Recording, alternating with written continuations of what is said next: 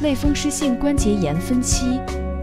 如温医生特邀专家樊平，西安交通大学第一附属医院风湿免疫科副主任医师。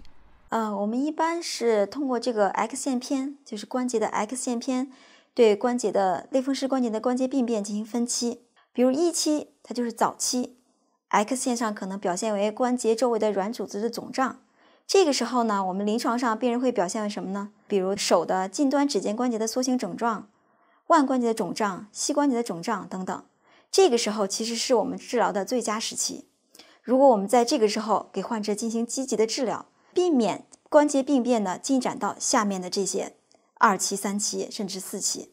二期呢，X 线上就会出现关节间隙的狭窄；三期呢，关节面就会出现一些虫噬样的骨侵蚀。这个时候就已经有骨的侵蚀了。到了四期，也就是晚期，X 线片上可能会出现关节的半脱位，甚至有关节的骨性的这个强直等等，关节的畸形。这个时候，我们可以看到这个类风关的患者就会出现这种天鹅颈畸形呀、纽扣花畸形呀等等，还有膝关节的畸形，这就严重影响了这个患者的生活和工作，使他们丧丧失了这个正常的这个工作的能力。